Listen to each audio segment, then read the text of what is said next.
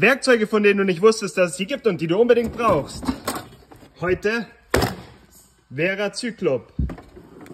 Das Geile an der Ratsche ist auf jeden Fall, dass sie erstmal ewig lang ist. Das heißt, du kriegst einen richtig geilen Hebel zusammen. Und was ich richtig feiere, ist dieser schmale Ratschenkopf bei einer Halbzoll-Ratsche. Du hast jetzt einfach nur hier zum Richtungswechseln, kannst gleichzeitig hier die Nuss lösen, wenn du hinten drauf drückst und hast halt einen extrem schmalen Ratschenkopf. Plus, der Hebel ist halt unendlich lang. Also ich feiere das Ding.